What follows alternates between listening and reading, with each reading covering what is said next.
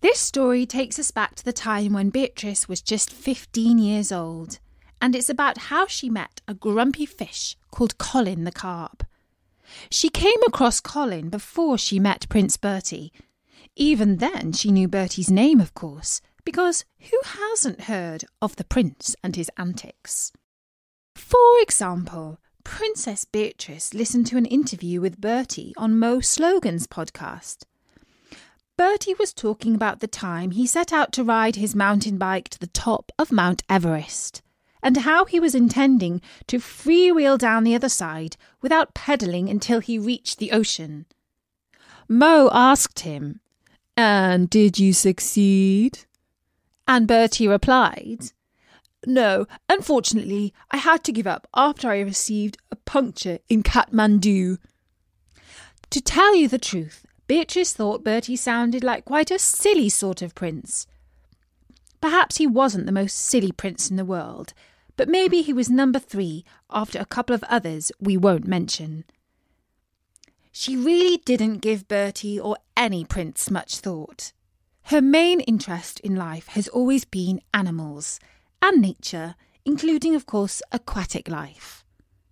That's a fancy way of saying things that live in the water.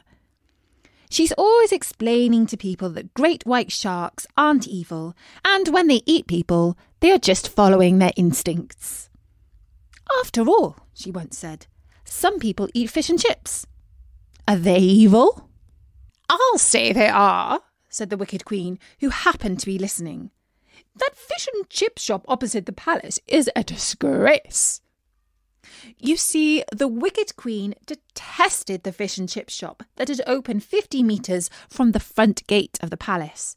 She thought it lowered the tone of the neighbourhood, and she didn't like seeing all the unwashed plebs hanging around on the street, waiting for their fish to fry on Friday night. In fact, shortly after that, the fish and chip shop received a visit from the Royal Health Inspector and had to close because they put too much salt on the chips. The next morning, the Queen was singing, You shan't have a fishy on a little dishy. You shan't have a fishy when the boat comes in. But Beatrice took little notice of her mother's vendetta against the shop.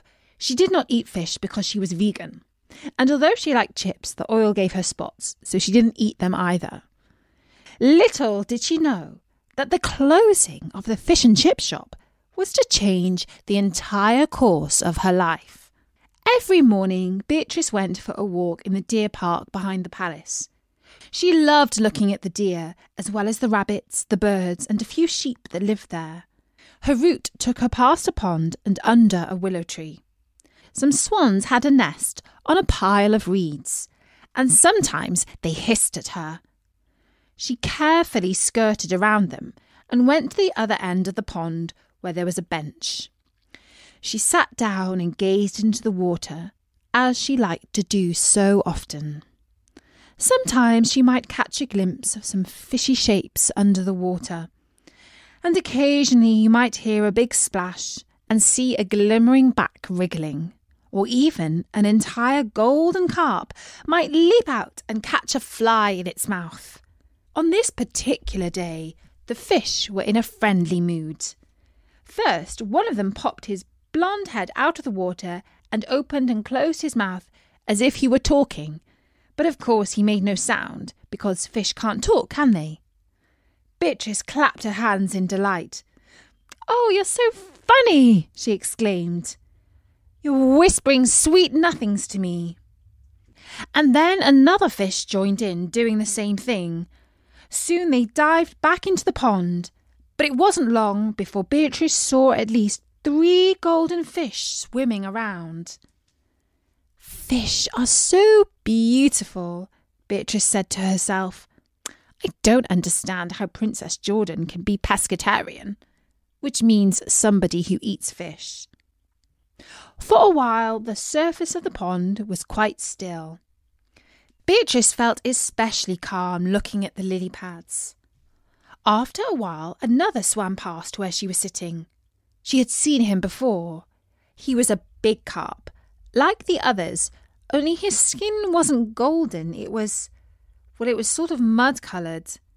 He swam around in a circle and then he poked his head out the water and looked at her with his mouth open.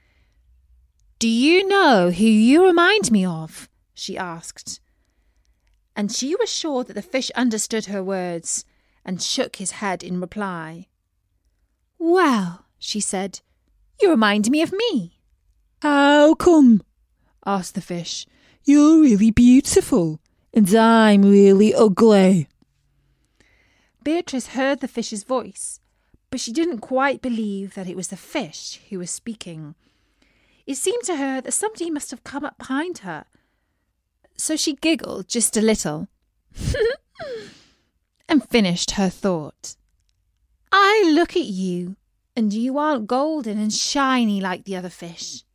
You are sort of duller, and yes, perhaps most people wouldn't notice you. That's how I feel. My stepmother won't let me buy the clothes I want, or let me do my hair the way I want, and she doesn't allow me to go to balls and parties like other princesses. And besides, I'm rather shy, just like a fish. So, despite the fact that I'm a princess, nobody really notices me. Well, you poor little princess, said the fish. But at least you don't have my problems. Wow, this was odd. The fish's mouth moved when it spoke. It was just like the words came from him. But of course, it had to be some person playing a joke on her, didn't it? Beatrice looked around. The only human being in sight was a dog walker, and he was far away. Are you a trick fish? she asked, like some sort of projection. I know, you must be a hologram. A hologram? asked the fish. What makes you think that I am a hologram? I'm a homie, I am, or at least I am for now. Last night some kids came along and they are threatening to take my life away. They are. You mean they want to murder you? exclaimed Beatrice, standing up. They mustn't. That's frightful. We need to preserve aquatic life. Not take it away. I couldn't agree more, said the fish. But these kids say that I shouldn't be allowed to live in this pond because my skin's not golden coloured. And one of them said that she would like to throw me on the rubbish heap. And then the other said, Don't do that. I know we can make him golden. Let's catch him and deep fry him in batter and eat him with chips. And another said, That's a great idea. Tomorrow's Friday, which used to be fish and chip night until the wicked queen closed down the fish and chip shop. And then the first one said, I've got a net at home. We'll come and get him tomorrow. So, Your Highness, you are looking at a doomed fish. Tonight I shall be fried in golden batter, sprinkled with salt and cheap vinegar, and served up with oily chips. Oh, no, you won't. I won't let that happen. How are you going to stop them? I'm going to rescue you. That's what I'm going to do, said Beatrice. Don't go away. I'm coming back to fetch you. Beatrice was already running back to the palace when the fish said, Go away? What's she on about? Does she think I've got legs? Beatrice soon returned with a couple of palace servants who were carrying a bathtub full of cold water. They put it down beside the pond and she called out, Oh, fish! Oh, fishy with the mud coloured scales!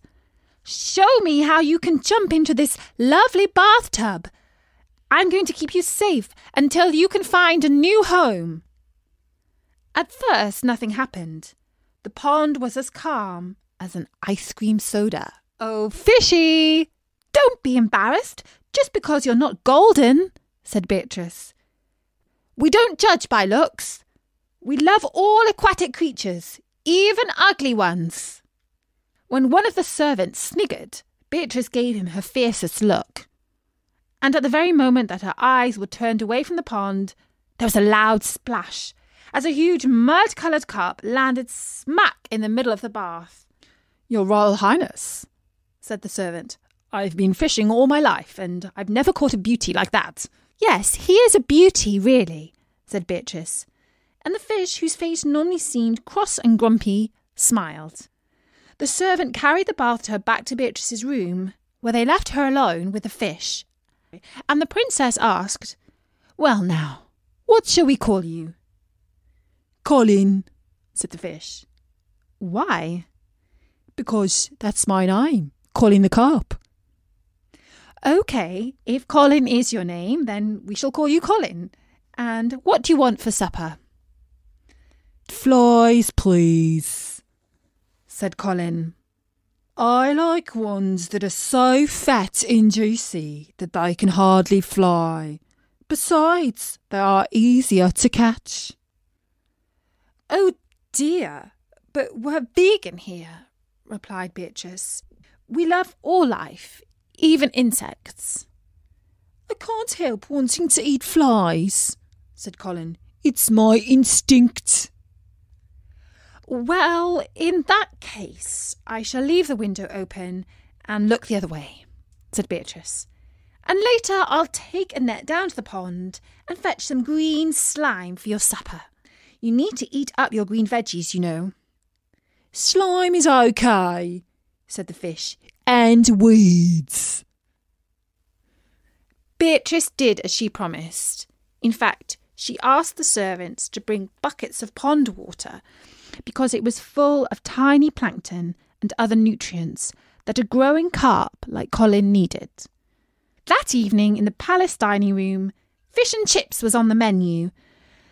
So Beatrice asked for her butternut squash linguine with fried sage to be sent up to her room. While she ate, Colin nibbled on his slime. I hope you won't find life in the palace boring, said Beatrice. I don't go out a lot, I'm afraid. I was going to ask, said Colin, can you take me to a football match? Because I've never been to one. That might be tricky, said Beatrice, looking at the bath. I wouldn't want you to go out of your way for me, said Colin tragically. Oh, I forgot to tell you. Since you saved me from the frying pan, I can grant you three wishes. Um, what kind of wishes? asked Beatrice. The usual things money, power, and revenge. I, I don't want any of those things, said Beatrice. How about saving the Anatolian water frog from extinction? I read in The Guardian that a ferocious appetite for frog's legs among the French and Belgians is driving species in Indonesia, Turkey, and Albania to the brink of extinction. Europe imports about 200 million frogs every year. Did you know that? I could hardly believe it when I read it. It's got to stop. You want to save frogs' legs? asked Colin, astonished. Well, your wish is my command. That's done. Frog's legs are forever off the menu in France and Belgium. You've still got two more wishes left. My advice is to think of something really selfish. You won't regret it. Selfish? Oh, I couldn't waste a wish on myself. Now, let me see. Can you stop the Arctic ice extent from melting too much each summer? If you ask me, said Colin, that's another waste of a perfectly good wish. But consider it done. Now listen, you've done me a big favour, and I'm going to do you one. You are clearly a princess with a lovely heart. You are caring and compassionate. But you need to look after yourself. If you are confined to the palace and not allowed to be your true self, what good will that do anyone? You have just one wish left. Just this once, wish for something for yourself. Um, if you don't mind, said Beatrice, I'll save my wish while I sleep on it. Beatrice lay awake that night, thinking of all of the lovely privileges that most princesses enjoy as a birthright, like pet mice that turn into dappled ponies, pumpkins that become golden carriages, dancing lessons instead of school, cupboards full of freebies, designer clothes, gear and bling, little dogs that fit in handbags, celebrity chefs dropping by to cook dinner, any amount of ethical jewellery, Swiss bank cards without any names on them, sporty electrical cars, next generation iPhones that aren't even out yet, invitations to every red carpet event, and rows of international princes all queuing to marry you in a giant cathedral on a gorgeous day with crowds cheering and the entire world watching and smiling. Her stepmother, the wicked queen, was never going to allow her to have any of that because she was too stingy and mean. But now she could have it all. She only had to make one fishy wish. It was so very tempting. But no, she wasn't that sort of selfish princess. She wanted to dedicate her life to biodiversity. But then again, didn't she deserve just a little bit of happiness? Oh, bother. It was so difficult making a decision like this. She was only 15 years old, and it didn't seem fair to have so much responsibility. Eventually, she fell asleep, and she had a dream. In this dream, her only true friends in the world were the pond life ducks, frogs, tadpoles, and fish. One day, one of the frogs asked her to marry him. In the morning, when she began to wake up, she was still thinking about her fairy tale dream and what it meant. I think, she said to herself, it means that I will find love and friendship in the most unexpected place, like in the bottom of a slimy pond. As she ate her piece of toast and Oxford thick cut marmalade with no butter for breakfast, she considered what she should wish for. I don't want to be selfish, but I do deserve to be happy. If I can be happy, I can do more good in the world. She went back up to her room and opened up the Royalgram app on her phone. She posted a picture of Colin in his bathtub and asked, Can anyone find a good home for this handsome carp? Soon the replies started to fly in. Bing! Princess Meredith. You seem to like him so much. Why don't you marry him? Ping! Prince Gregory. He'd be at home on my plate with chips and mushy peas. Ping! Sultan Ahmed. Beatrice, dear, why don't you stop trying to save the planet for once and go shopping? Ping! Crown Prince Frederick. There's a sudden shortage of the frog's legs in all of the restaurants. Why don't you do something about that instead? Beatrice thought, typical. All the royals are so self centered and uncaring. There's not one of them who's worth a second thought. And then she turned to Colin and said, I just wish that there was just one other royal person who cared about aquatic life and could be my friend. If that's your wish, replied Colin, and almost as soon as she had spoken, Beatrice's phone went ping. She almost did not dare to look, because if it was another horrid message, that would mean that Colin had been playing a mean joke on her and his wishes didn't come true. But eventually, she raised her big blue eyes and glanced at the screen. Prince Bertie. Dear Beatrice, we've not met before, but I would be more than delighted to adopt your homeless carp. He is most welcome to join our inclusive community of aquatic life in the pond at the bottom of our garden. Wow, said Beatrice out loud. What a nice chap! No wonder other royal people say mean things about him, like he's silly and does stupid things. They don't like him because he's nice, and they are all mean. And then she turned to Colin and said, Would it be okay if I had just one more tiny weeny wish? When I'm old enough, I'd like to marry Prince Bertie. I'm sorry, Your Royal Highness, said Colin. I'm only allowed to give you three wishes. I did try to tell you to be more selfish. I can't make Prince Bertie fall in love with you and ask you to marry him, however much I try. Not by magic, at any rate.